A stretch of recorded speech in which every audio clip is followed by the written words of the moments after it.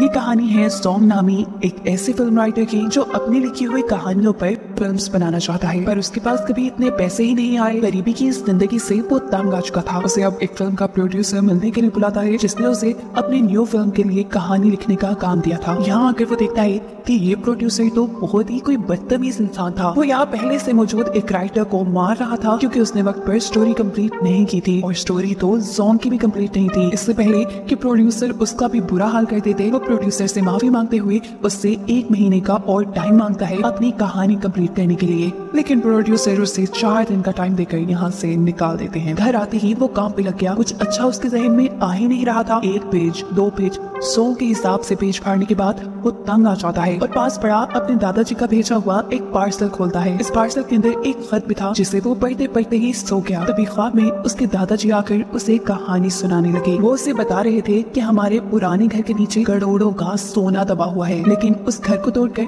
वहाँ अब जेल बना दी गई है। सोना ठीक कुएँ के पास दबा था। ये सारी कहानी सुनते ही जोंग को होश आ गया। होश में आते ही जब उसने दादाजी का पार्सल देखा तो उसमें उस घर का नक्शा था, जो सच में जेल के नक्शे से मिल रहा था। यानी ख्वाब में जो कुछ उसने देखा, जो कुछ उसके दादा ने बताया, वो झूठ नहीं था। यानी सॉन्ग की तो एक बड़ी लॉटरी लग गई थी। अब तो वो दिनों में अमीर हो जाता। लेकिन मसला ये था कि सोने को हासिल करने के लिए उसे जेल जाना पड़ता। बुरे काम तो कभी उसने किए नहीं थे। अब जेल जाने के लिए वो क्या करता है कि अपने नेबर्स का लैपटॉप चुरा कर नीचे गिरा कर तोड़ देता है। उससे में उसके नेबर्स उसे पुलिस में अरेस्ट करा देते हैं और फाइनली वो जेल में पहुँच जाता है। जेल में तो सभी कहती हैं किसी की बर्थडे पार्टी बना रहे थे और ये था ग्रैब ग्रैब उसके पास आकर उसे भी पार्टी में शामिल होने को कहता है और बताता है कि एक जमाने में उसका भी जोंग नामी एक अच्छा दोस्त था। ग्रैब बिना उसकी बात सुने उसे अपना दोस्त बना लेता है और कहता है कि अब से तो मेरे दोस्त होना, इसलिए तुम्हारी हिफाजत के सारी ज़िम्मेदारी अब मेरी। तुम्हें यहाँ कोई नुकसान नहीं पहुँचा पाएगा। जिसके बाद अब हमें दिखाया जाता है कि जोंग इस जेल का विज़िट कर रहा है। वो से दिख रहा है और वो जगह ढूँढने की कोशिश कर रहा है जहाँ सोना दबा हो सकता है। जिस वक्त पर उसे यहाँ एक और कैदी मिलता है, जो उसे बताता है कि इस जेल में दो ग्रुप्स बने हुए हैं। एक ग्रुप ग्राहक का था तो दूसरा ग्रुप था बाओ का। बाओ जो कि बहुत ही खतरनाक कैदी था। सभी लोग उससे डर कर रहते थे, जबकि दूसरी तरफ़ था ग्राहक, जो कि बहादुर होने के साथ साथ अच्छा भी था। वो अपने ग्रुप के किसी भी बंदे का किसी भी किस्म का नुकसान होने नहीं देता था। वो हर तरह से उनकी हिफाजत करता था। इस कैदी से ये सारी कहानी सुनने के बाद सॉन्ग कहता है, अरे नहीं नहीं, मुझे किसी ग्रुप में नहीं शामिल होना। वो लोग बातें कर ही रहे थे कि अचानक कुछ कैदी उसको पकड़ कर बाओ के सामने ले आते हैं। ये असल में बाओ के ग्रुप के लोग थे जो उसे टॉर्चर करते हैं, कभी उसे मारते हैं तो कभी उसका मुँह पानी डुबाते हैं। और ये सारे काम वो इसलिए कर रहे हैं कि डर कर जोंग बाओ का ग्रुप ज्वाइन कर ले। जोंग के साथ साथ यहाँ आए सभी कहती टॉर्चर से तंग आकर उनके ग्रुप में शामिल होने का फैसला कर लेते हैं। अब बाओ के ग्रुप का रूल था कि जो भी नया बंदा उनके ग्रुप में एंटर होता, उसे बाओ की थूकी हुई चाय पीनी पड़ती थी। सारी कैदियों से डरा धमका कर ये काम करवा लिया जाता है। और जब बाओ की वो गंदी थूक वाली चाय पीने का टाइम आता है तो अचानक कोई उसके हाथ से कप गिरा देता है। और कोई नहीं था, बल्कि एक ट्रैप था। वो बाउ से कहता है कि सोहन मेरे ग्रुप का बंदा है, क्योंकि वो मेरे रूम में रहता है। इस लिहाज से तो उसके ऊपर कोई ज़बरदस्ती नहीं कर सकते। ग्राब और ग्राब के लोग सोहन को अब यहाँ से लेकर चले जाते हैं। और सोहन के उसके हाथ से निकल जाने की वजह से बाऊ को यहाँ आ जाता है गुस्सा, जिसका बदला वो अगले दिन उसके खाने में कॉकरोच मिलाकर लेता है। और ज़बरदस्ती उसे वो खाना खाने पर मजबूर करता है, जो सारा तमाशा क्रैप देख चुका था और इसीलिए इन दोनों ग्रुप्स में लड़ाई शुरू हो जाती है। फिर ये लड़ाई तो खत्म हो ही गई। अगले दिन हमने देखा कि जोंग को जेल की साफ़ सफ़ाई का काम मिला है। उसने मौके का फ़ायदा उठाया और काम करते हुए उस पुराने कुएँ की तलाश में लग गया, जिसके आसपास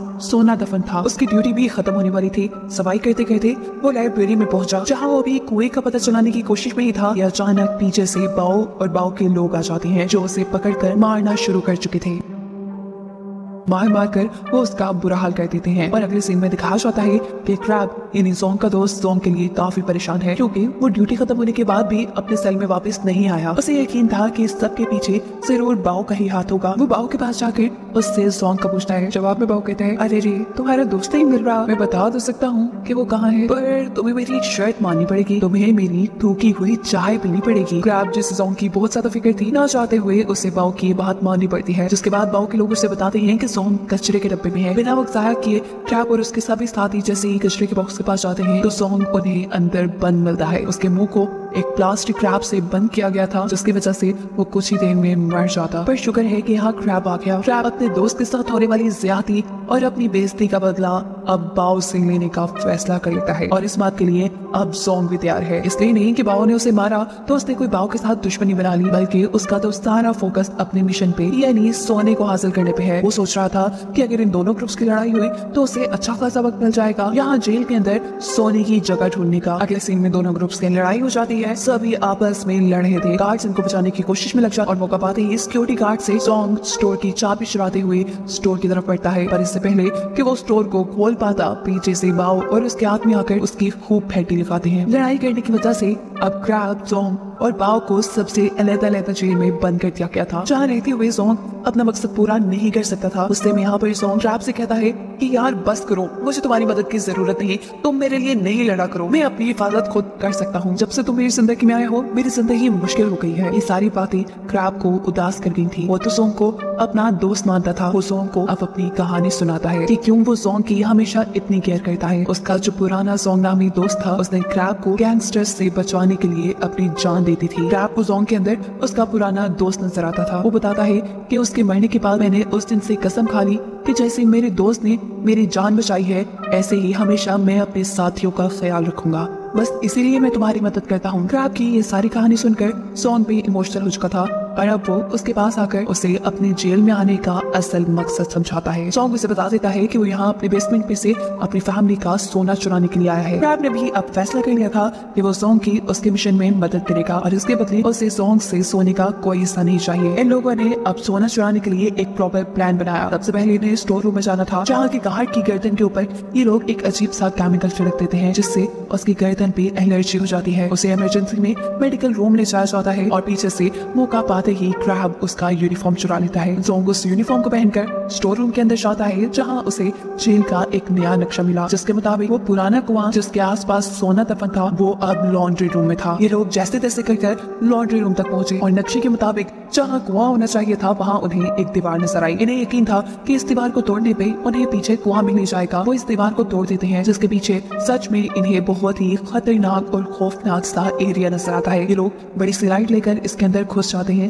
लेकिन याद तो उन्हें कोई कुआँ या कोई सोना नहीं मिलता। नाकाम उदास अब ये लोग वापस आने वाले थे। कि तभी यहाँ पर अचानक क्रैब को एक लकड़ी नज़र आती है। वो वैसे ही टाइम पास के लिए इस लकड़ी को उठा लेता है और इस लकड़ी को उठाते ही वहाँ पे एक अलमारी खुल जाती है, जिसके अंदर कई सोने की बार्स थी, जिनकी कीमत 500 करोड़ डॉलर से भी ज़्यादा हो सकती थी। देख कर तो सॉन्ग की आँखें खुली की खुली रह गई। सॉन्ग ने सबसे पहले इनके अंदर से कुछ बार्स क्रैब को दिए, लेकिन क्रैब कहता है कि मेरा इस सोने पे कोई हक नहीं, ये तुम्हारा सोना है और तुम इसे लेके जाओ। ये लोग अब सारे सोने को एक कपड़े में छुपा देते हैं और लॉन्ड्री रूम में रखे हुए कपड़ों के साथ लेकर बाहर आ जाते हैं। ये लोग जानते थे कि लॉन्ड्री हुए कपड़े बाईस तारीख को जेल से बाहर जाएँगे। और ये वही दिन था जिस दिन सोंग को भी जेल से रिहाई मिलनी थी। इनका प्लान तकरीबन तकरीबन कामयाब ही होने वाला था। और सोंग इस चीज़ को लेकर बहुत खुश था। वो क्रैक को बताता है कि अब वो अपना सारा कर्ज उतार कर फाइनली अपना सपना पूरा कर सकता है। यानी वो अब एक प्रोड्यूसर बनकर फिल्म्स बना सकता है।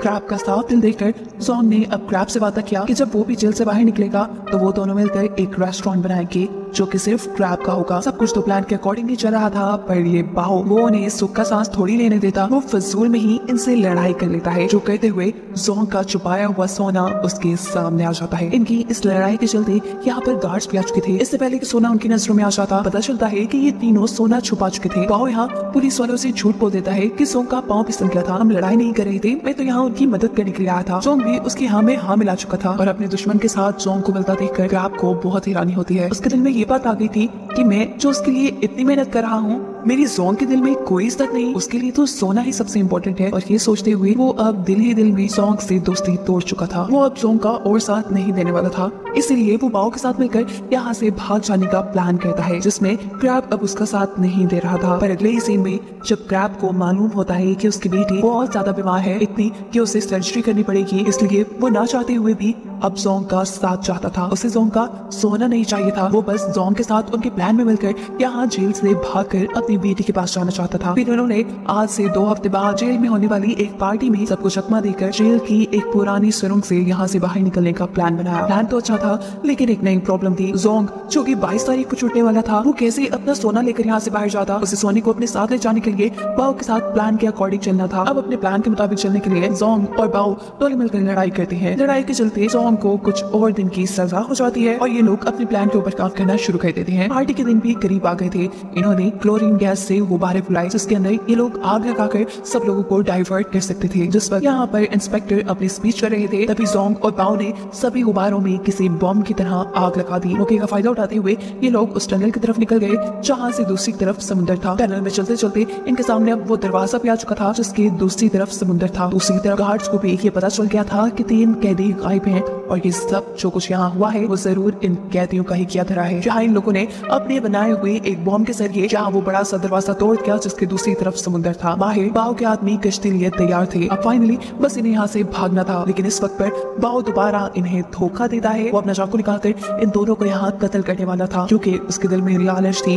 वो सारा सोना खुद हासिल करना चाहता था। इससे पहले कि बाव क्रैप को मार देता, सॉन्ग उसके सामने आ चुका था। और इसीलिए वो बहुत ज़्यादा जख्मी हो गया था। दिखाया जाता है कि इसके बाद इन तीनों के दरमियान भी लड़ाई शुरू हो जाती है। बाऊ जो की खतरनाक क्रिमिनल था, उन्होंने मार मार कर इन दोनों का बुरा हाल कर दिया था। जहाँ क्रैप अब उससे कहता है कि तुम बेशक सारा सोना ले जाओ, पर हम दोनों को ज़िंदा छोड़ दो। लेकिन वो क्रैप की बात क्यों मानता? जेल में तो हमेशा क्रैप उसका दुश्मन रहा था। वो क्रैप को अब समंदर के अंदर गिराना चाहता था, और जैसे ही वो क्रैप को गिराता है, पर वक्त रहते ही क्रैप एक रस्सी को पकड़ लेता है, जिसका दूसरा सिरा जोंग के हाथ में था। यानी इस वक्त क्रैप की जान जोंग के हाथ में थी। यहाँ जोंग को वो सारे लम्हे याद आते हैं जब जब क्रैप ने उसकी मदद की थी। एक सच्चे दोस्त की तरह उसका साथ दिया था और अब वो क्रैप का साथ नहीं छोड़ने वाला था। क्रैप के ठीक सामने बाव भी खड़ा था। अपने एक हाथ से रस्सी को पकड़े हुए क्रैप उसे चकमा देते हुए जल्दी से पानी में गिरा देता है और दूसरी तरफ़ जोंग अपना पूरा ज़ोर लगाते हुए अपने दोस्त क्रैप को समुद्र में गिरने से बचा लेता है। बाव तो मारा जा चुका था और इनके सेफली जेल में वापस आते ही यहाँ सिक्योरिटी गार्ड्स भी